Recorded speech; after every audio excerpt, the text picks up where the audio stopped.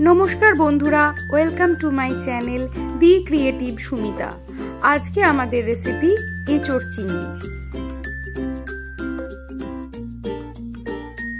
অনুষ্ঠান বাড়ির মতো এঁচড় চিংড়ি করতে হলে উপকরণে লাগবে ছোট সাইজের একটা এঁচড় যেটা আমি কেটে নিয়েছি। আর দুশো গ্রাম মতো চিংড়ি মাছ, যেটা নুন হলুদ মাখিয়ে নিয়েছি। ছোট ছোট চিংড়ি মাছ, এভাবে নুন হলুদ মাখিয়ে নেবেন। চিংড়ি মাছ বাছার সময় চিংড়ি মাছের পিঠে যে সবুজ রঙের একটা অংশ থাকে, সেটা অবশ্যই ফেলে দিতে হয়। সেইভাবেই এটা ধুয়ে রেডি করে নিয়েছি। দুটো তেজপাতা, জিরে, গোটা গরম মশলা, দারচিনি, লবঙ্গ এলাচ, অল্প একটু চিনি, জিরে গুঁড়ো, ধনে গুঁড়ো, কাশ্মীরি লঙ্কা গুঁড়ো, টমেটো একটা, বড় সাইজের দু থেকে তিনটে আলু, পেঁয়াজ কুচি, আদা, লঙ্কা, রসুন, নুন, হলুদ, তেল, ঘি। মিক্সিং জারে প্রথমেই দুটো লঙ্কা, তিনটে বড় সাইজের পেঁয়াজ, রসুন কুচি আট দশটা আর এক ইঞ্চি মতো আদা দিয়ে একটা পেস্ট তৈরি করে নেব। এঁচড় যখন কাটবেন, তখন এঁচড়ের বীজের পাশে পাতলা সাদা রঙের একটা অংশ থাকে, সেটা বাদ দিয়ে দেবেন। এঁচড় চিংড়ি ভালো করে রাঁধতে পারলে একটা তরকারি দিয়েই এক থালা ভাত খাওয়া হয়ে যায়। অল্প জল দিয়ে পেঁয়াজ, রসুন, আদা, লঙ্কার বাটাটা তৈরি হয়ে গেছে। গ্যাস জেলে আভেনে কড়াই বসিয়ে দিলাম। কড়াই গরম হলে তেল দিয়ে দেব।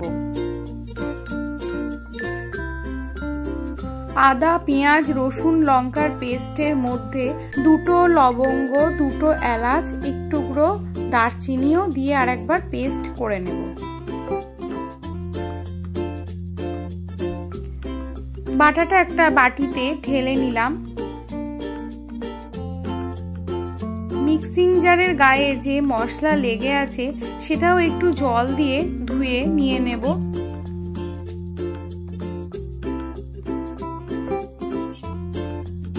তেল গরম হয়ে গেছে, আমি চিংড়ি মাছগুলো ভাজার জন্য দিয়ে দেব।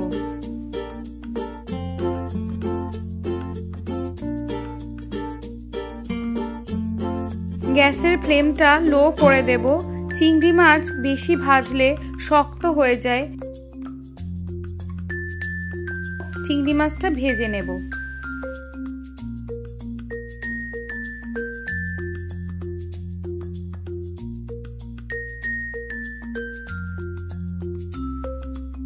দু পাঁচ মিনিট ভাজার পর চিংড়ি মাছে গোল্ডেন কালার চলে এলে চিংড়ি মাছগুলো প্লেটে তুলে নেব।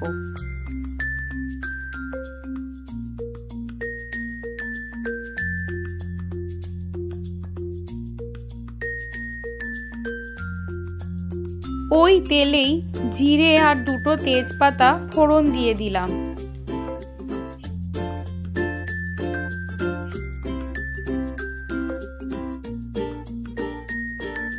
গরম তেলে কেটে রাখা আলুগুলো দিয়ে দিলাম।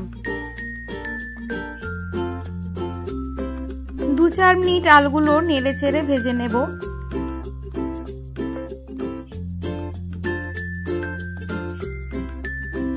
এক চামচ মতো হলুদ দিয়ে দিলাম।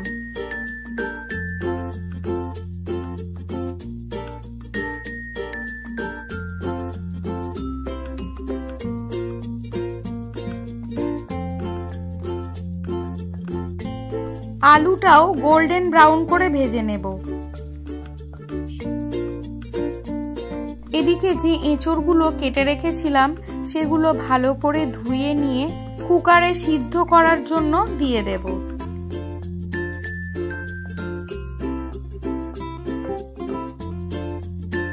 অল্প জল দিয়ে এর মধ্যে হলুদ গুঁড়ো আর অল্প একটু লবণ দিয়ে দেব। কুকারের ঢাকনি বন্ধ করে গ্যাসে বসিয়ে দেব। দুটো থেকে তিনটে সিটি পড়লে ইঁচড় হাফ সিদ্ধ হয়ে যাবে।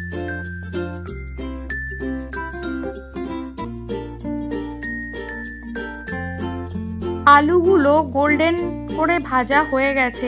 এখন আমি কুচি কুচি করে রাখা পেঁয়াজগুলো এর মধ্যে দিয়ে দেব।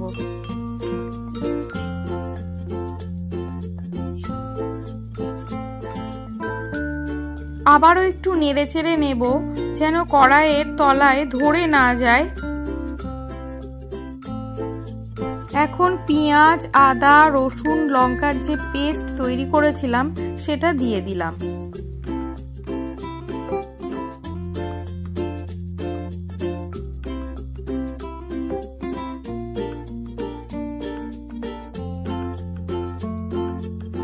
পাঁচ থেকে সাত মিনিট মিডিয়াম আঁচে মশলা সহ আলু ভাজতে হবে।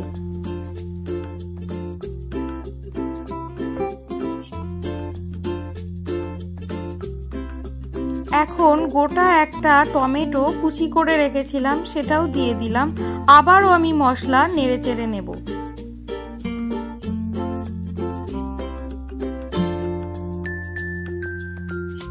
এখন এক চামচ জিরে গুঁড়ো, এক চামচ ধনে গুঁড়ো, এক চামচ কাশ্মীরি লঙ্কা গুঁড়ো দিয়ে দেব।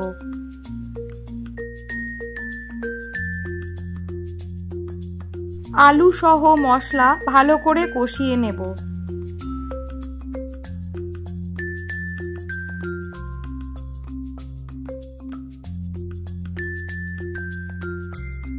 মিক্সিং জারে ধুয়ে রাখা জলটাও দিয়ে দিলাম।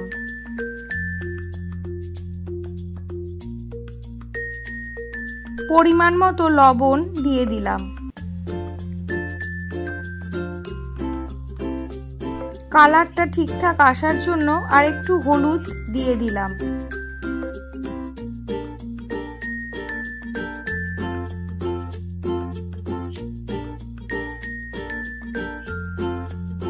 মশলা ভালো করে কষালে তবেই তরকারির টেস্ট ভালো হয়।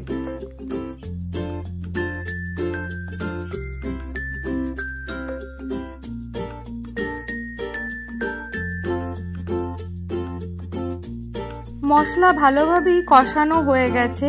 এক কাপ মতো গরম জল দিয়ে দিলাম।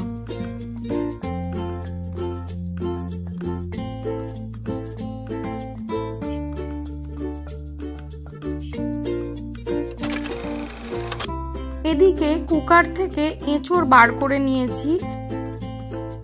সিদ্ধ হয়ে গেছে। এখন আলু আর মশলা কষানোর মধ্যে এঁচড় সিদ্ধটা দিয়ে দেব।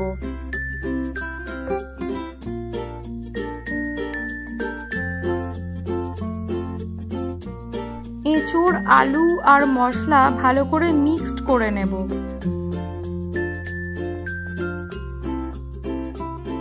পাঁচ সাত মিনিট মশলা এঁচড় এভাবে নেড়ে চেড়ে নেওয়ার পর জল দিয়ে দেবো।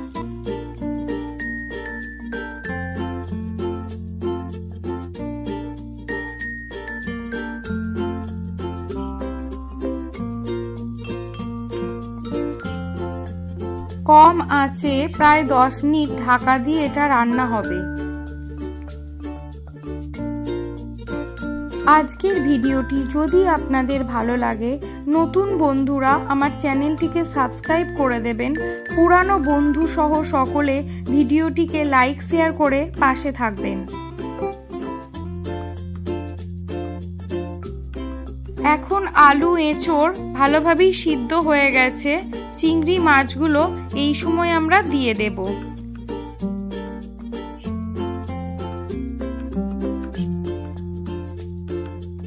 এইভাবে নেড়ে ছেড়ে আরও পাঁচ থেকে সাত মিনিট আমরা চিংড়ি মাছ, আলু এবং এঁচোড় ভালো করে কষিয়ে নেব।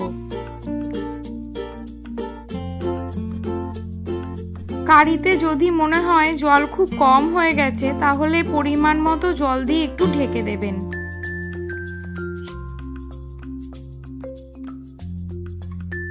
পাঁচ সাত মিনিট পর ঢাকনা খুলে চিনি দিয়ে দেব এক চামচ মতো।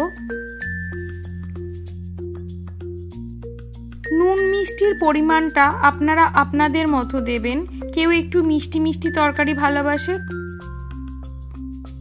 এক চামচ ঘি দিয়ে দিলাম।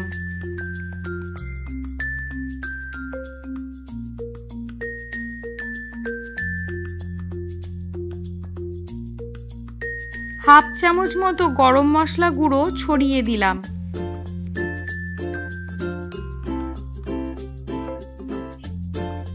ঝাল ঝাল তরকারি পছন্দ করলে চার পাঁচটা চেরা কাঁচা লঙ্কা দিয়ে দিতে পারেন।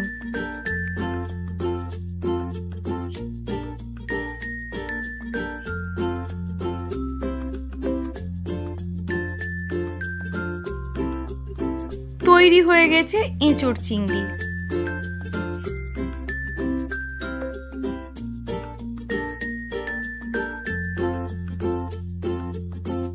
এবার এঁচড় চিংড়ি সার্ভ করব।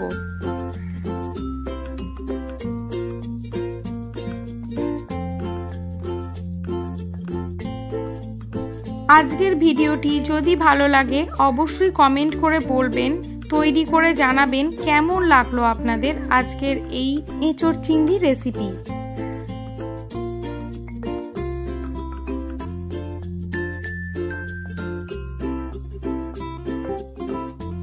উপর থেকে একটু ধনে পাতা দিয়ে গার্নিশ করে দিলাম।